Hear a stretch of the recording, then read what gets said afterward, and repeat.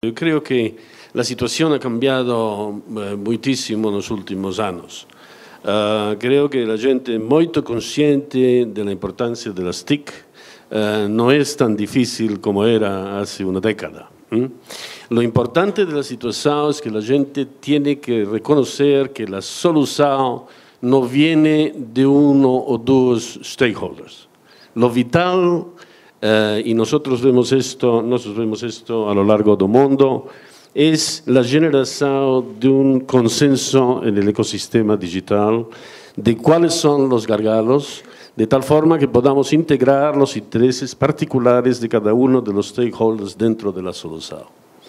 Eh, por tanto, sí hay una enorme conciencia de la importancia de las TIC en el desarrollo de los países, pero en muchos países no hay ese, ese consenso en el ecosistema. Tengo que decir que en estos meses de estudio sobre el sector das TICs eh, en Brasil, muy apasionante, por otra parte he tenido el placer de hablar con muchos stakeholders, de intervenir en el pasado FutureCom uh, y eh, familiarizarme con los gargalos, los problemas del sector. Eh, mi impresión eh, desde una perspectiva internacional es por una parte negativa y por otra parte positiva. La parte negativa, por comenzar por ahí, es que la situación del sector de las TICs, eh, desde mi punto de vista, no tiene correspondencia con, con el peso, con la potencia eh, do Brasil en el concepto de las naciones. Esto es negativo, y uh, tenemos que trabajar todos en este ecosistema para resolver estos gargalos.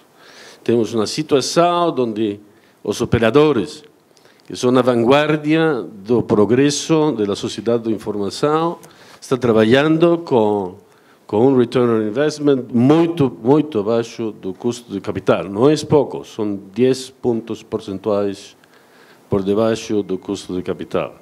Esta situación nos pone en un problema.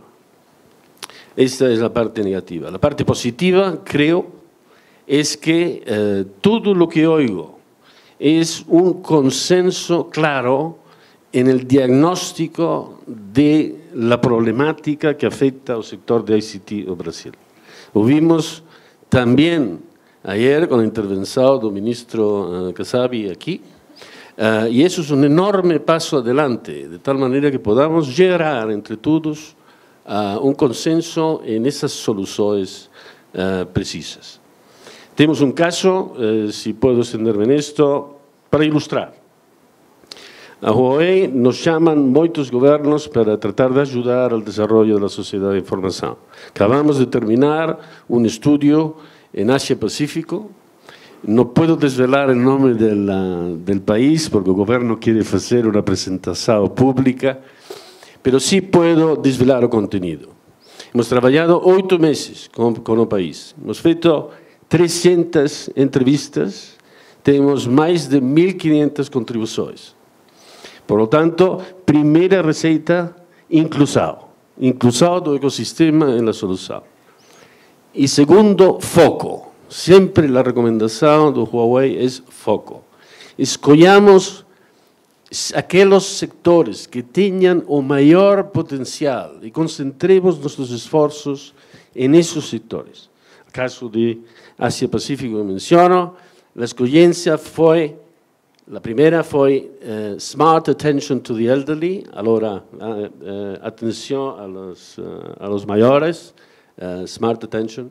La segunda fue Smart Agriculture y la tercera fue Smart Tourism la creación de tres plataformas, esos tres sectores enfocados. De ahí se derivan 38, 38 recomendaciones al gobierno con su budget, su presupuesto y su calendario.